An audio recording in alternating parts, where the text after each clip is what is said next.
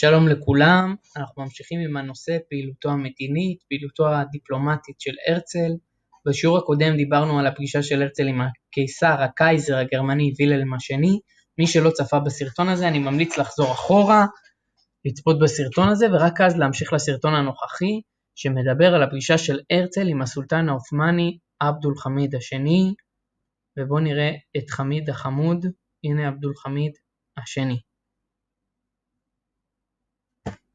אז ככה, למה הרצל פונה בכלל לסולטן העות'מאני? אז ברור לכולנו שהאימפריה העות'מאנית היא ששולטת על ארץ ישראל, ולכן האינטרס של הרצל הוא לפנות למי ששולט על הארץ שבה היהודים רוצים להקים מדינה. הרי בתוכנית באזל נקבע במפורש שארץ ישראל היא מדינת היעד להקמת המדינה היהודית. לכן מי שצריכים לאשר, לתת את הצ'רטר על ההתיישבות היהודית, על הקמת המדינה היהודית בארץ ישראל, למי ששולטים על ארץ ישראל, ומהסיבה הזו הוא פונה אל הסולטן העות'מאני. בנוסף, הרצל מודע לקשיים שבתוכם נמצאת האימפריה העות'מאנית, היא במצב כלכלי קשה, יש לה חובות למדינות מערב אירופה, היא מתפוררת בגלל המנהל המושחת שלה, היא סובלת מכל מיני מרידות מקומיות של כל מיני קבוצות לאומיות, ולכן הרצל אומר, אני אוכל לנצל את החולשה הזו לשחק עליה ואז הסולטן העות'מאני ישתכנע וירצה לתת ליהודים את הצ'רטר. אז מה הרצל בעצם מציע לו כדי לשכנע אותו? דבר ראשון, הרצל אומר לו ככה, אני לא רוצה מדינה עצמאית באמת, מדינה ריבונית. אני רוצה חבל ארץ אוטונומי. זאת אומרת, אתה תיתן לי שטח בארץ ישראל, שבו היהודים יחיו תחת שלטון עצמי. לא יהיה לך כאב ראש מהם, הם ינהלו את העניינים שלהם בעצמם. אבל בטאבו, למי שייך השטח? השטח שייך אליך, אנחנו כפופים אליך. אם תרצה עדיין נשלם לך מס, אם תרצה אנחנו נביא לך חיילים, האינטרסים שלך באזור יכולים להישמר, יהיו לך שם בסיסי צבא, אנחנו לא נוכל להקים צבא משל עצמנו וכולי. זאת אומרת, אתה לא מפסיד שום דבר, אלא רק מרוויח מזה שהיהודים יגיעו. בתוך האימפריה העות'מאנית חיים כל מיני עמים, יש יוונים ויש ארמנים ויש בולגרים ויש עיראקים, אז מה זה משנה אם יהיה עוד עם אחד יהודי כי גם ככה כבר במילא חיים יהודים בשטחי האימפריה העות'מאנית, אז פשוט תרכז את כולם במקום אחד, זה לא משפיע על המרקם החברתי של האימפריה העות'מאנית. בנוסף, הרצל מציע לו כספים מכספים של יהודים עשירים כדי לסגור את החובות של האימפריה העות'מאנית. הוא יודע שהאימפריה העות'מאנית צריכה כסף, היא בחובות למדינות המערב, היא נקלעה לכל מיני סכסוכים, מלחמות, נכנסה לחובות האלה, ליהודים יש המון כסף, והם יסגרו את החובות האלה. זאת אומרת, תן לנו את הצ'רטר, תן לנו את החבל ארץ אוטונומי הזה, ואנחנו נביא לך את הכסף לסגור את החובות. בנוסף, האימפריה העות'מאנית לא עברה מהפכה תעשייתית. אז הרצל אומר לו, מאיפה באים היהודים? מאירופה. הם יביאו איתם כסף, הם יביאו איתם טכנולוגיה, הם השקיעו כספים באימפריה העות'מאנית, וככה תוכל לפתוח ולפתח את האימפריה העות'מאנית למהפכה תעשייתית. מה האינטרסים של האימפריה העות'מאנית לקבל את ההצעה של הרצל? אני פשוט עושה העתק הדבק להצעה של הרצל, ואלה בדיוק הסיבות של הסולטן העות'מאני הטורקי להסכים להצעה של הרצל. הרי אם גם ככה חיים כל מיני עמים וגם יהודים בתוך האימפריה העות'מאנית, אז מה זה משנה אם יגיעו עוד יהודים? ואם גם ככה אני ממשיך לשלוט על השטח, זה לא שאני נותן את השטח במתנה ליהודים, אז מה אכפת לי? זה לא שונה משטחים שחיים בהם יוונים או ארמנים או בולגרים שאני שולט עליהם. אני לא מפסיד כלום למעשה. אולי אני רק ארוויח כי יגיעו עוד יהודים שישלמו לי עוד מיסים, והם יגיעו עם כסף. בנוסף המצב הכלכלי שלי לא טוב, ליהודים יש כסף, בוא ניקח מהם את הכסף, נסגור את החובות. אני רק מרוויח. בנוסף, לא עברתי מהפכה תעשייתית. היהודים מגיעים מאירופה, באירופה הייתה מהפכה תעשייתית. הם יביאו איתם ידע, הם יביאו איתם השכלה, הם יביאו איתם פיתוח, טכנולוגיות, יקימו לי כאן מפעלים, ישקיעו כסף, יפתחו את האימפריה. כאן אנחנו רואים את הרצל בשוק בטורקיה, באימפריה העות'מאנית, עם הגמל, מי שלא מזהה את הרצל בתמונה, שימו לב, אהלן אהלן. והנה בחור עם תרבוש כדי להוכיח שזה בטורקיה. ממשיכים. מה היו תוצאות המפגש? הסולטן העות'מאני אומר להרצל, תשמע, בא לי על הכסף שלך, אבל לא בא לי לתת לך את ארץ ישראל. אם אתה רוצה בשטח אחר באימפריה העות'מאנית, אני מוכן לתת ליהודים להתיישב, זה איזשהו שטח באזור עיראק. אבל בארץ ישראל, לא. למה בעצם הסולטן העות'מאני, הסולטן הטורקי, מסרב להצעה כל כך טובה כמו זו של הרצל? היו לו סיבות טובות. בואו נעבור שלב שלב ונפיל את מה שהרצל חשב שנכון, זאת אומרת, הסולטן העות'מאני לא היה טיפש.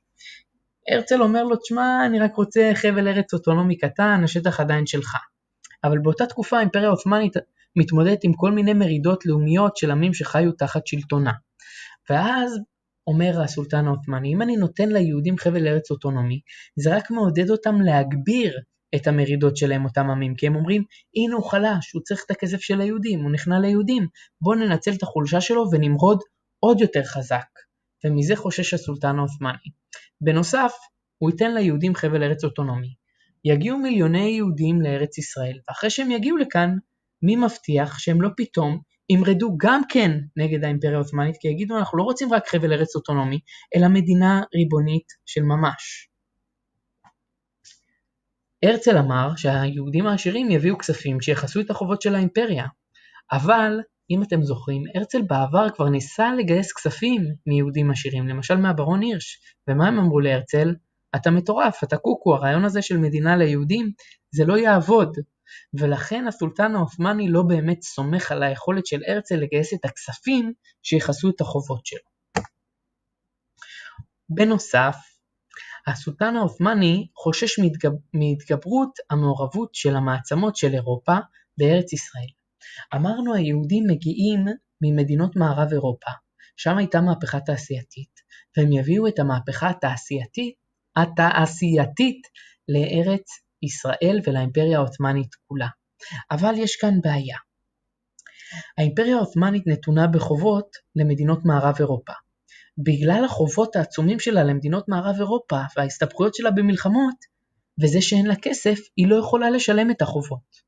לכן בגלל שהיא לא יכולה לשלם את החובות, היא חותמת על הסכם עם מדינות מערב אירופה ועם רוסיה, שנקרא הסכם הקפיטולציות. בעצם זכויות מוגדלות לאזרחים של מדינות מערב אירופה ורוסיה, כשהם מגיעים לשטחי האימפריה העות'מאנית. למשל, להישפט לפי החוק של המדינה שממנה אתה מגיע, ולא לפי חוקי האימפריה העות'מאנית. אני אתן לכם דוגמה כדי שתבינו מה זה הסכם הקפיטולציות. נגיד אני מורה באימפריה העות'מאנית, והגיע אליי תלמיד מצרפת. לפי החוקים של האימפריה העות'מאנית, כשתלמיד מפטפט, צריך לשים את הלשון שלו בתוך מחבת עם שמן רותח, כדי שהוא ילמד לא לפטפט יותר.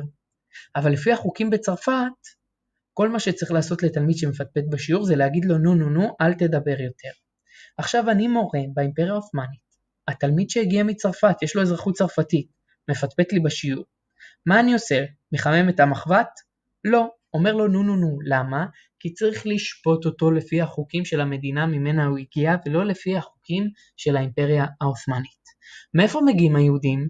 מארצות מערב אירופה.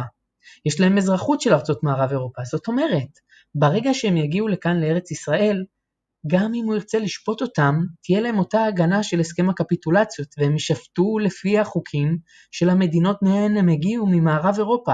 זאת אומרת, האימפריה העות'מאנית לא באמת תשלוט על היהודים, אלא היהודים ייהנו מזכויות יתר בתוך האימפריה העות'מאנית.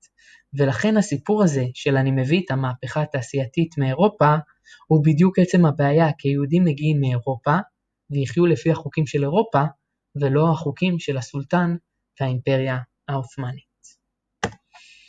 אז יש לי כאן טבלה מסכמת, מה הרצל הציע, מה האינטרסים של הסולטן להסכים, ומה הסיבות לסירובו של הסולטן. שימו לב שהפרמטרים האלה בעצם חוזרים כל פעם מחדש בכל פגישה של הרצל.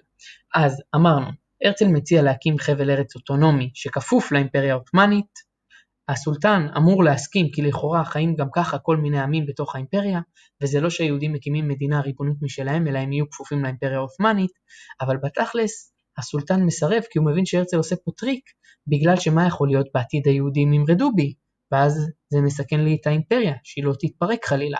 או שהעמים יראו שאני חלש ונכנע ליהודים ונותן להם חבל ארץ אוטונומי, ואז הם יגידו אני חלש. בואו נמרוד באימפריה העות'מאנית ויגבירו את המרידות שגם ככה קיימות כנגדי. הרצל מציע כספים מההון היהודי כדי לסגור את החובות של האימפריה העות'מאנית.